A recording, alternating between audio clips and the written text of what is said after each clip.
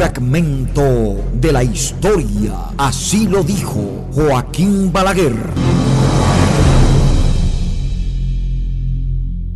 Estamos frente a un país deshecho y a una administración hundida virtualmente en el caos. Las tres cuartas partes de la población del país desean vivir en paz y que solo aspiran a que se les garantice el ejercicio ordenado de sus libertades civiles.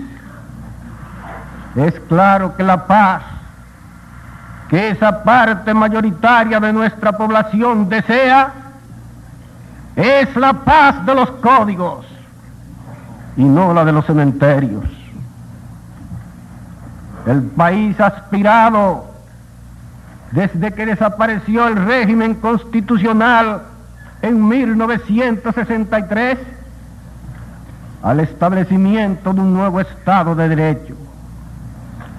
La mayoría de los dominicanos se halla consciente de que la situación de anarquía en que ha vivido el país en los últimos tiempos se debe principalmente a la crisis por la cual ha atravesado el principio de autoridad y al hecho de que todo concepto orgánico del orden ha desaparecido del ambiente dominicano.